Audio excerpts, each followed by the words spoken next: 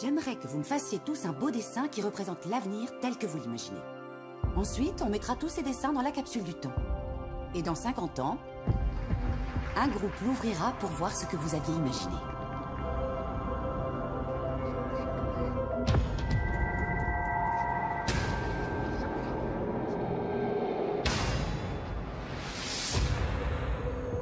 Qu'est-ce que tu fais avec ça?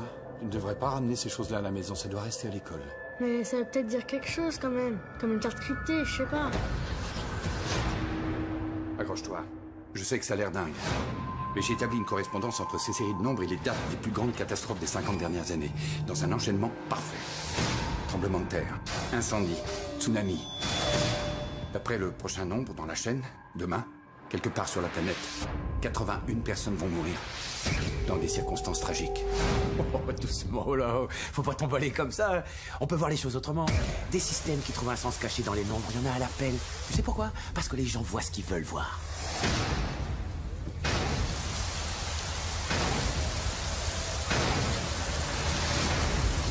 Qu'est-ce qui se passe? Je suis désolé, il faut retourner à votre véhicule. Il y a des blessés?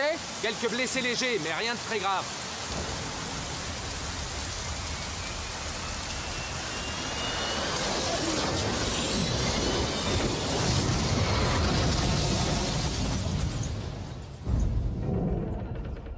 Les nombres sont un avertissement.